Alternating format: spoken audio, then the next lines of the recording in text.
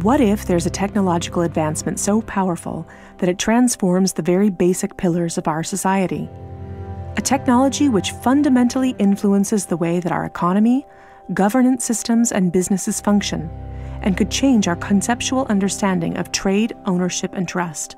This technology already exists, and it's called cryptocurrency. People often think of cryptocurrency as only virtual money or a transaction system. But if you look closer, you'll see that the monetary aspect is just the tip of the iceberg.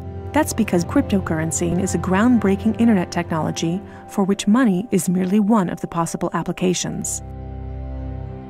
Cryptocurrency enables a network of computers to maintain a collective bookkeeping via the internet.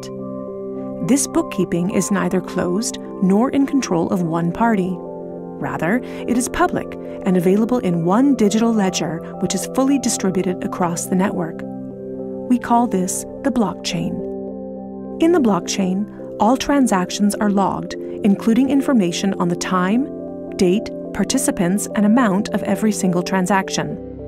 Each node in the network owns a full copy of the blockchain. On the basis of complicated, state of the art mathematical principles, the transactions are verified by the so called cryptocurrency miners, who maintain the ledger.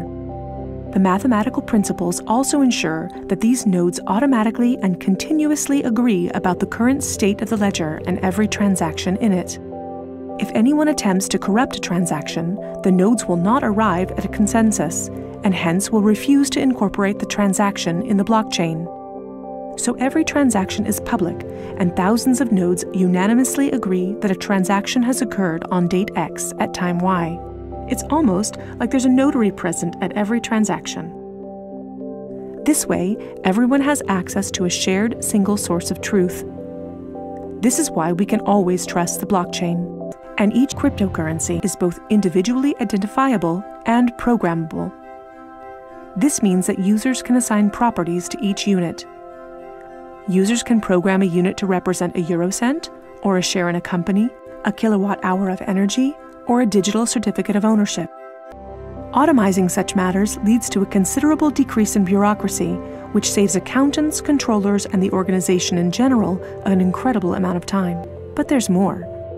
In an Internet of Things, our economy will be dealing with machines that actively participate in the economic traffic.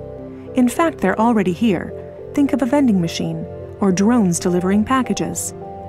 These machines are unfamiliar with the concept of trust, because of the blockchain, the drone can be 100% certain that it will deliver the package to the right recipient and know for sure that it's been paid for. And we can program the vending machine in such a way that it will automatically keep track of its supplies, order new supplies from the supplier, and pay for them automatically. Of course, you'll understand that this is only the beginning. Internet technology is disruptive and breaks the status quo. It opens markets and breaks the positions of middlemen all the time the blockchain, and cryptocurrencies have caused a paradigm shift. It's time to explore this new technology constructively and critically and openly discuss potential applications.